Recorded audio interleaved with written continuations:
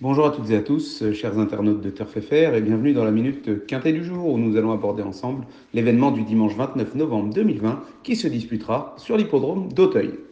Il faut d'abord revenir sur le quintet de la veille qui avait lieu vendredi soir du côté de Paris-Vincennes. De la Chenevière, piloté par François Lecanu et qui portait le numéro 11, s'impose en force de bout en bout. Un gros outsider à plus de 100 contre 1 s'empare de la troisième place et du même coup, la minute quintée fait malheureusement chou blanc. Malgré l'énorme cote à l'arrivée, Skelétaire fait sauter la banque en trouvant le Quintet Plus accompagné des bonnes bases lors du concours de pronos gratuit. Du coup, au classement général, il marque 1732,50 points.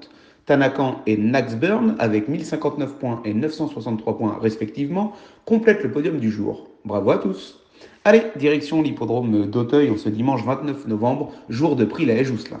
Ce n'est pas le groupe 1 qui sera support de Quintet Plus, mais bien le prix Damien, sixième course de la Réunion 1, qui a donc été retenu. Ce rendez-vous pour sauteurs âgés de 4 ans n'est autre qu'un handicap concouru sur la distance des 3600 mètres du parcours de haie s'annonçant collant. Notons que le terrain sera donc très collant et que nous pourrions assister à une arrivée surprenante. Pandoro, le numéro 10, est un poulain perfectible qui va devenir un vrai cheval de Quintet Plus. Quatrième dernièrement dans cette catégorie, si son jockey, Dylan Ubeda, est plus patient, il ne va pas taper loin. Kerfani, le numéro 1, a remarquablement gagné pour sa rentrée à Compiègne il y a quelques semaines dans un lot qui tenait la route. S'il a bien accusé cette réapparition victorieuse, il ne devrait pas taper loin pour ses débuts dans les handicaps malgré ses 72 kilos apportés.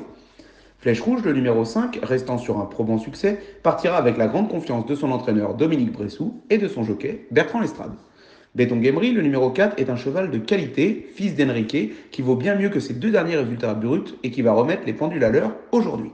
Gingembre le numéro 6, que Félix de Gilles aime bien, aura des partisans car il vient de terminer cinquième d'une épreuve du même genre. Galant du Chénet, le numéro 2, le maquilleur de service, viendra ensuite.